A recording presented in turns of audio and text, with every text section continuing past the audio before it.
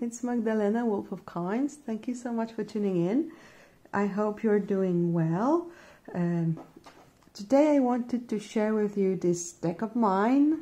It's a pretty new one for me, but I've worked with it a bit already, and I think it's a pretty nice uh, beginner's deck for Lenormand. So yeah, so I wanted to show it because it's fairly cheap and um, a good deck to learn from. So, uh, unfortunately, I have no clue who the publisher is. This is a great mystery to me. There is no uh, info whatsoever, either neither on the box or in the little white book inside. It's really weird. But yeah, the title here is Lenormand Fortune Telling Cards according to the method of Mademoiselle Lenormand with instructions. So yeah, that that's that. And the interesting thing is about it, oh look, there is this little white book with this really cute picture of a lady going to a fortune teller. Ain't that amazing? So yeah, so and there are instructions, uh, like short introduction and then we have all the cards described and uh, some methods. I didn't look into the book, the little white book really. I just thought this was really cute. and yeah, so so the interesting part is that it has both playing cards insets and a poem because there are some decks that have either this or that and this one has both. Plus the uh, playing card inset is really big so it's really well visible. These are a little smaller. Oh can you see? But they are based on uh, traditional uh, meanings of the cards. So it's it's interesting and when you're learning it can like help you um, like remember what's the what the cards the card is about. What I don't really love about this deck is the card stock. It feels pretty cheap. Plus, even though it was foiled, look at that. It has some like it's somehow dented or I don't know how it happened but yeah in some cards and a couple of the first cards there is something like this and something on the backs. But again it was it was cheap. It was 28 zlotys. I didn't check how much in dollars it is but something four times less I guess. So it's not an expensive deck and I love the imagery. It's so like it's classic. Uh, it's pretty I wish only the car uh, the cardstock was better. The backs are not too awesome, not too interesting. But let's have a look at the deck. So yeah, so so we get like also even the title. There's I'm pretty sure there is a version of this deck in French as well. I've seen it around the internet a lot, but this is I don't speak French, so you know this is a perfect choice for me, even though I got uh, with my order, because I ordered from a Polish store, uh, I got a translation into Polish. So I even have this translated into Polish together with my deck, if I use the little white book that is. Anyway, it can always be helpful, you never know. So we have everything. We have the number, the playing card inset, which is big, really well visible. So it's helpful for you when you're starting to remember, um, yeah, to remember and, and notice the playing card inset. And, and there's this poem and even the title of the card, Cavalier. So number one, there's this beautiful clover here and it's here is called clover leaf then there's the ship, the house, very classical images, tree, clouds and I will put this aside because there is one complaint I have about this deck and it it's about the clouds card. There is the snake card and look at how big these people here are. It is very good for practicing using uh, playing card in sets, uh, also for um, seeing the people in the cards. So this doesn't have to be only clouds. It can be about an older man who is who might not be our friend or something like that.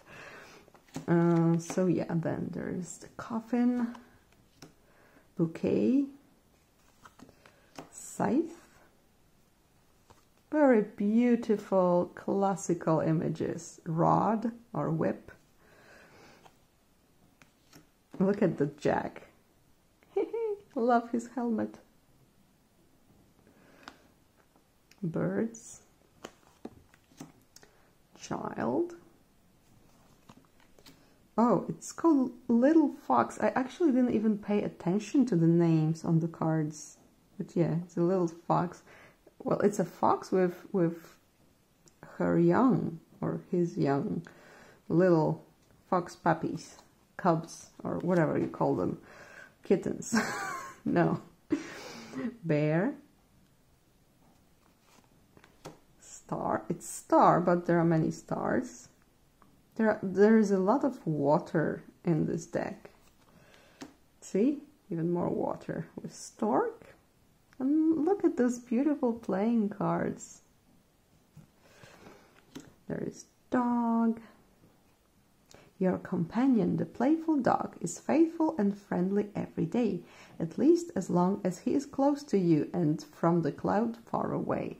So it's um, a very traditional way of reading Lenormand, uh, depending on how far or near from you, from your significator the card is. It's the near far uh, method, and it's reflected in those poems. Tower, garden, mountain, very like, yeah, that's the mountain. That's easy. That's clear. Road, but it's a fork. So it's good because that's what it's about, about making decisions and yeah, that the path that goes into different directions. Mice, heart, ring, book, letter,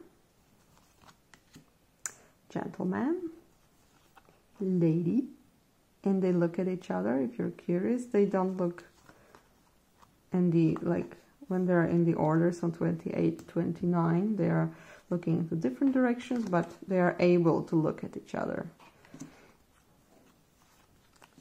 Lily. Sun, and look what's on my sun. Can you, can you see? Oh, right now. See? I don't know what happened. It was like a deck of cards in foil. No clue. But yeah, I love this sun card. It's so, so pretty. Just, I, I just love it. And it's like, it's big, you can tell it's the sun. It's not mountains or anything, or clouds or anything else. It's a, like a really bright sun. Moon, again with water, but the moon card is often with water. It makes sense. Key, fish, anchor and cross. Really, really good for beginners, except for this. Look at these two cards. This is clouds and fish. And we have two kings. They are different because you can see the symbol of the suit, but it's not the first thing you look at. You have a person here and you have some water and for me, these cards are too similar. The clouds are very, very pale. So when I when I like get this card and I look at it and I I'm not instantly sure which card it is. Of course, if I use this deck more, I will get used to it, but what's important in Lenormand deck is that it's like instantly you know what you have because you have to look at, at a lot of cards at a time in the Grand Tableau, so you shouldn't be forced to search, oh, where are the clouds or where are the fish? So these are really similar cards and it's it surprises me that in such a clear deck you get something like that. I even have had the mind to like put some ink on it to make the clouds darker. so I could even like create darker side of the clouds on this side. But yeah, why? Why do that? So yeah, this is this deck, fortune telling cards.